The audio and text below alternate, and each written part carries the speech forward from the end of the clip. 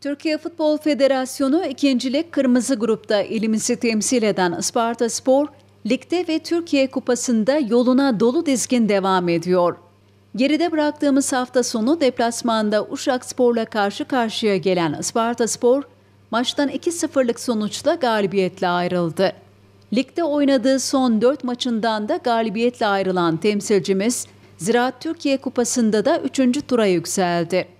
Son haftalarda aldığı başarılı sonuçlarla dikkatleri üzerine toplayan Isparta Spor, çarşamba günü ise kendi saha ve seyircisi önünde Belediye Derince Spor'u konuk edecek.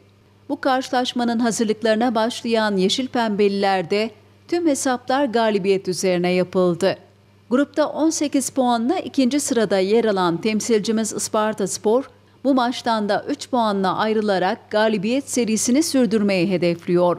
18 Ekim çarşamba günü Isparta Atatürk Stadyumunda oynanacak karşılaşmanın başlama düdüğü ise saat 19'da çalacak.